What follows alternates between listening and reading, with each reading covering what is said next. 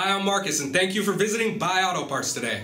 It's our goal to make it easy for you to buy auto parts, so I want to tell you a few things about our complete AC repair kits so you can make a confident purchase. Buy Auto Parts has been selling parts for over 25 years. We've been online since 2001, and we specialize in AC.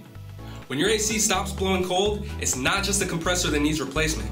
We make it easy for you to find all the necessary components at the lowest price to get your car blowing cold AC again. Our five piece repair kits come with a brand new compressor with the clutch included, a dryer, also known as an accumulator, an expansion device, the O rings, and the oil for the AC system. That's everything you need for a basic replacement.